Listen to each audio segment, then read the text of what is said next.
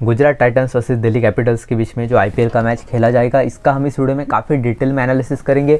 स्वागत है आपका परफेक्ट लाइनअप एप्लीकेशन पे। यहाँ पे आप हर एक फैंटेसी मैच का काफ़ी डिटेल में एनालिसिस कर सकते देखो, इस वीडियो में हम क्या क्या देखेंगे। पहले तो विनवेंट पिच रिपोर्ट काफ़ी डिटेल में हम यहाँ पर एनालाइज करेंगे। उसके आगे दोनों टीम्स की प्रोबेबल प्लेइंग इलेवन क्या होगी?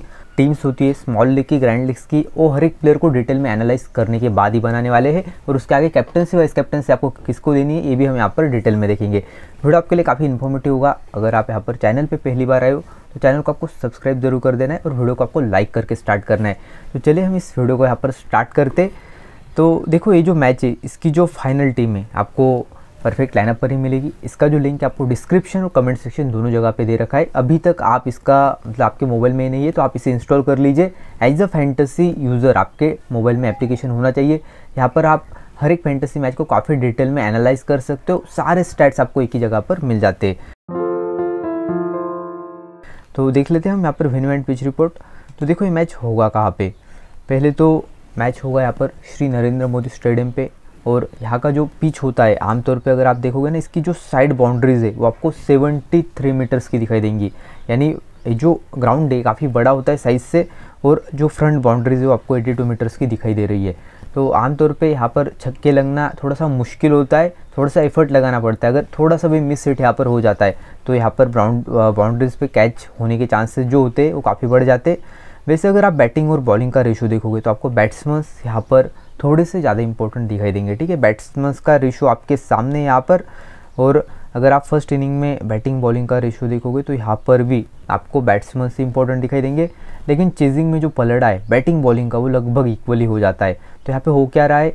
जो चेजिंग में जो टीम बैटिंग करती है उसको थोड़ी सी दिक्कत यहाँ पर होती है। इसकी वजह से ही यहाँ पर बैटिंग का जो रेशो है, वो यहाँ पर कम हुआ हुआ है। और अगर आप एवरेज फ़र्स्ट इनिंग का स्कोर देखोगे तो आपको 200 का दिखाई देगा। काफ़ी बड़ा स्कोर होता है 200 का। तो आपको यहाँ पर जो भी टीम फ़र्स्ट इनिंग में बैटिंग करेगी, उसके जो बैट्समैन से आपके लिए इंपॉर्टेंट रहेंगे और हर इनिंग में लगभग सात विकेट के आसपास यहाँ पर गिर जाती है, ठीक है? तो बॉलर्स भी इक्वली इंपॉर्टेंट यहाँ पर होते। पेसर्स और स्पिनर्स का रेशो आपके सामने है। देखो कंपेरेटिवली जो स्पिनर्स से वो पेसर्स से अच्छा करके जाते हैं ऑन दिस वेन्यू और स्पिनर्स का यहाँ पर रेशो इसलिए भी अच्छा है कि ग्राउंड की जो बाउंड्रीज है वो ज़्यादा बड़ी है। अगर छक्का मारने जाता है कोई बैट्समैन हिटिंग के चक्कर में तो यहाँ पर बाउंड्रीज पे फिर कैच होने के चांसेस उसके अच्छे खासे रहते हैं जो हमने पहले भी देखा है। आ, देखो बैटिंग फ़र्स्ट और चेजिंग का अगर आप रेशो कंपेयर करोगे तो चेजिंग टीम यहाँ पर सेवेंटी प्रतिशत मैचेस जीती हुई है। तो इस मैच में जो भी टीम यहाँ पर चेजिंग करेगी वो आपके लिए बाय डिफ़ॉल्ट इम्पोर्टेंट हो जाती है। आ, थोड़ा सा नीचे चल लेते देखो कैप्टनसी वाइस कैप्टन से अगर आप देखोगे जो इस वेन्यू पे पहले भी प्लेयर है खेलते हुए कैप्टन वाइस कैप्टन रह चुके तो इसमें कौन कौन से प्लेयर्स का नाम आपको दिखाई दे रहा है? पहले तो शुभमन गिल, नूर अहमद, हार्दिक पंड्या, विजय शंकर और मोहम्मद शमी। ये पाँच प्लेयर्स ऐसे हैं जो इस वेन्यू पे खेलते हुए इन्होंने बहुत अच्छा परफॉर्मेंस किया था और कैप्टन वाइस कैप्टन भी रहे हैं। तो आपको कुछ प्लेयर्स को यहाँ पर आप प्रेफरेंसेस में डाल सकते हैं, जैसे शुभमन गिल।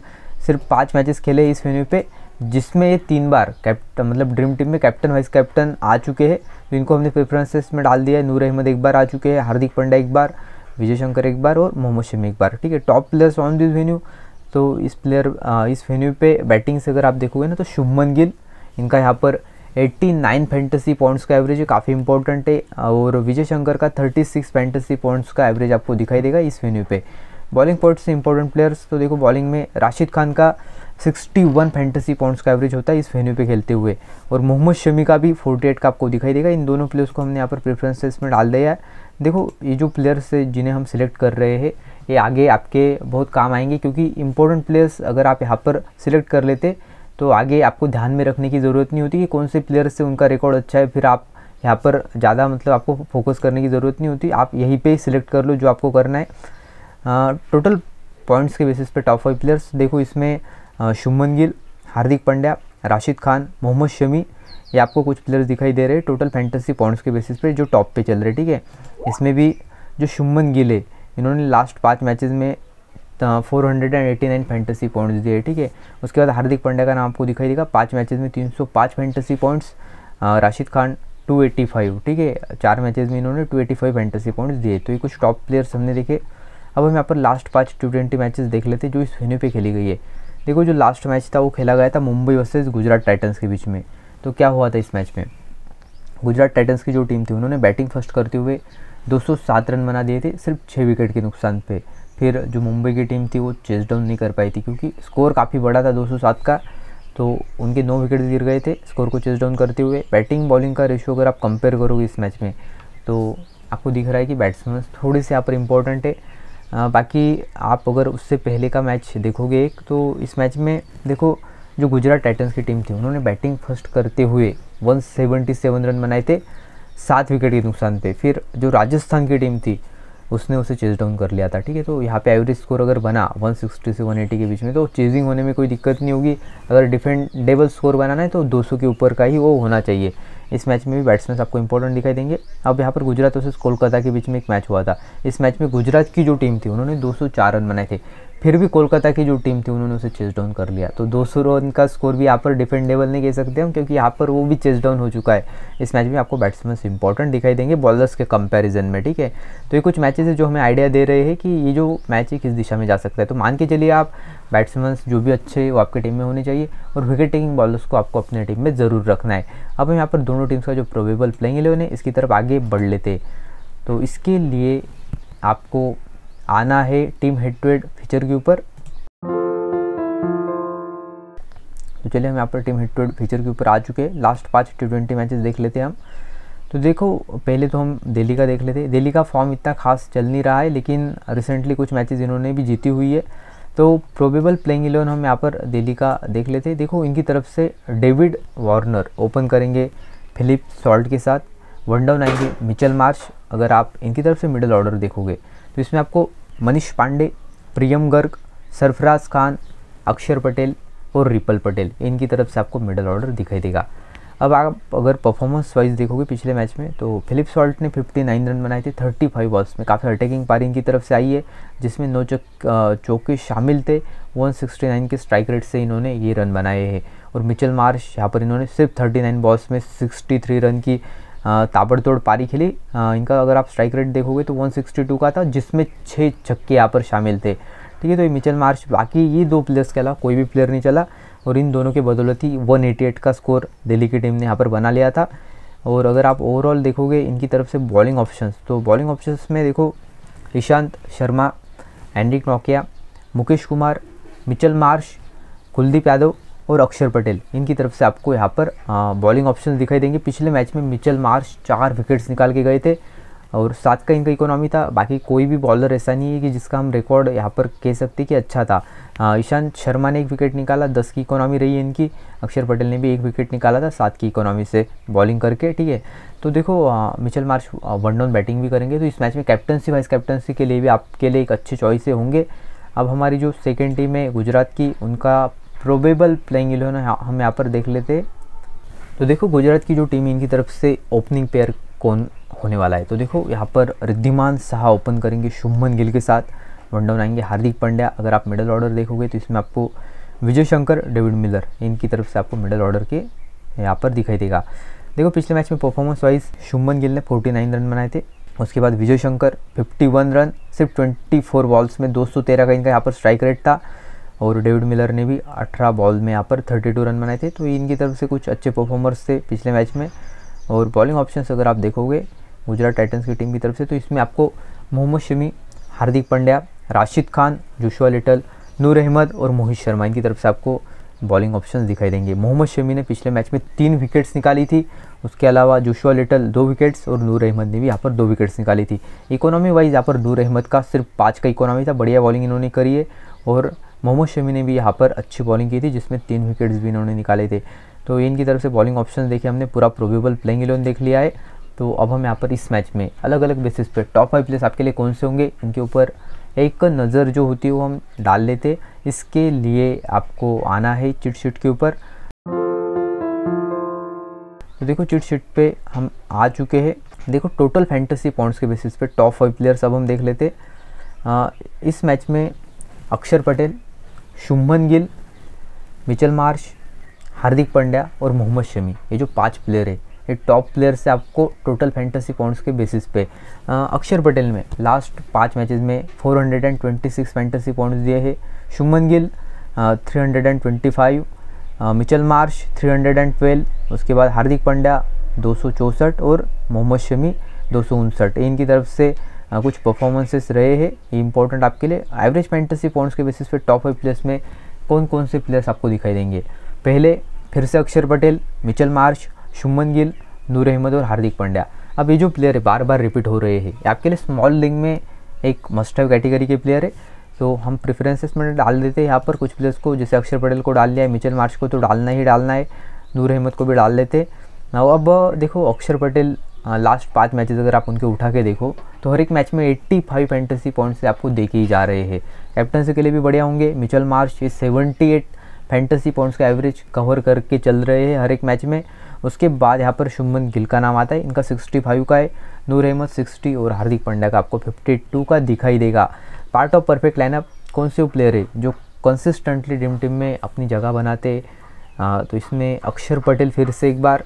शुभमन गिल हार्दिक पांड्या, राशिद खान और मिचल मार्च। वही वही प्लेयर्स से, ठीक है, अब हम गुजरात की तरफ़ से टॉप फाइव प्लेयर्स देख लेते इसमें शुभमन गिल, नूर अहमद, हार्दिक पांड्या, मोहम्मद शमी और डेविड मिलर का नाम आपको यहाँ पर दिखाई दे रहा है। तो डेविड मिलर को भी हम लॉक कर लेते देखो, डेविड मिलर काफ़ी अटैकिंग बैट्समैन है और यहाँ पर एक फिनिशर का रोल भी निभाते हैं। फॉर्म भी इनका ठीक ठाक है। अब हम दिल्ली की जो टीम है, इनकी तरफ़ से टॉप फाइव प्लेयर्स यहाँ पर देख लेते हैं। इसमें फिर से Akshay, Axar Patel, Mitchell Marsh David Warner Philip Salt और कुलदीप यादव का नाम दिखाई दे रहा है।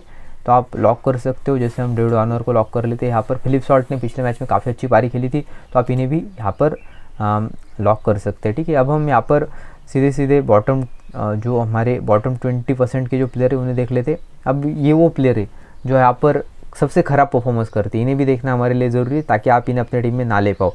मुस्तफिजुर रहमान और रोमन पोवेल का नाम आपको यहाँ पर दिखाई दे रहा है। सिर्फ़ उनके वैसे भी खेलने के चांसेस ही कम है, ठीक है? अब हम यहाँ पर अपनी जो स्मॉल लीग की टीम है, वो बनाने की तरफ़ आगे बढ़ते। देखो, आपको पावर रैंकिंग फीचर के ऊपर आना है। अगर आप स्मॉल लीग की टीम क्रिएट कर रहे हो, आपको यहाँ पर काफ़ी हेल्प होगी और आप कम से कम समय में अपनी जो टीम है, यहाँ पर क्रिएट कर पाओगे। पावर रैंकिंग फीचर के ऊपर हम आ चुके।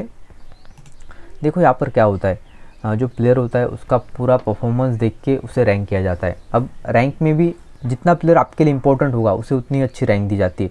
अब पूरा स्क्वाड यहाँ पर आपके सामने है और इसमें जो टॉप प्लेयर्स है, वो रैंक वाइज आपके सामने है। ठीक है, अब आपको करना क्या है? देखो, हम पहले तो इस मैच में जो टॉप प्लेयर्स है रैंक वाइज उनके ऊपर एक नज़र डाल लेते। तो पहले नंबर पे नाम दिखाई दे रहा है आपको चेतन सकारिया का। दो नंबर पे आते शुभमन गिल, उसके बाद Noor Ahmad, Rashid Khan, Mitchell Marsh Mohammed Shami, Shivam Mavi, Hardik Pandya, Axar Patel, David Warner और एंडी नॉक है। ये यहाँ पर टॉप इलेवन प्लेयर्स थे और अगर आप प्लेयर का जो डेटा है वो काफ़ी डिटेल में जाना चाहते हो देखने के लिए तो इस बारग्राफ के ऊपर आपको क्लिक कर देना है। यही से आपकी अंडरस्टैंडिंग क्लियर होती है कि वो जो प्लेयर आपके टीम में होना चाहिए या नहीं होना चाहिए। देखो जो शुभमन गिल है लास्ट दस मैचेस में से सात बार ड्रीम टीम में रह चुके और बैटिंग फ़र्स्ट में इनका 78 फैंटेसी पॉइंट्स का एवरेज आपको दिखाई देगा। चेजिंग में भी 62 का होता है। रिसेंट परफॉर्मेंसेस आपके सामने लास्ट के आप छः मैचेस उठा लो। छः मैचेस में लगभग ये यहाँ पर हर एक मैच चले हैं। एक मैच छोड़ के इस मैच में ज़ीरो पे आउट हुए थे। बाकी एक सौ छः और 81 इनके कुछ अच्छे परफॉर्मेंसेस रहे हैं, काफ़ी ज़्यादा। और ये जो स्टार है ना, आपको सजेस्ट करता है कि वो प्लेयर ड्रीम टीम में भी था। तो ठीक है। तो इन्होंने लगातार अपनी जगह भी बनाई है। दिल्ली के खिलाफ इनका परफॉर्मेंस कैसा होता है? शुभमन गिल जब भी दिल्ली के खिलाफ खेले हैं तो इनका बैटिंग फ़र्स्ट में 63 फैंटेसी पॉइंट्स का एवरेज रहा है। चेजिंग में 41 का हो जाता है। और इन्होंने सेकंड लास्ट मैच में दिल्ली के खिलाफ 116 फैंटेसी पॉइंट्स दिए और जब जब खेले, तब तक परफॉर्मेंस इनका अच्छा ही रहा है। मतलब हम एक एवरेज कैटेगरी में भी डाल सकते हैं इनको। ऑन दिस वेन्यू इस वेन्यू पे इनका परफॉर्मेंस लाजवाब रहा है, ठीक है? यहाँ पर 81, 69, 60, one hundred and one one fifty four one seventy eight इनके कुछ परफॉर्मेंसेस रहे। वेन्यू को देखते हुए हम इन्हें लॉक ही करेंगे अपनी टीम में सीधा। ठीक है देखो आपको उन प्लेयर्स को लॉक कर लेना होता है जो आपको काफ़ी ज़्यादा इंपॉर्टेंट लग रहे होते हैं इसलिए हमने इन्हें लॉक कर लिया। मस्ट हैव कैटेगरी के शुभमन गिल आपके लिए इस मैच में प्लेयर होने वाले।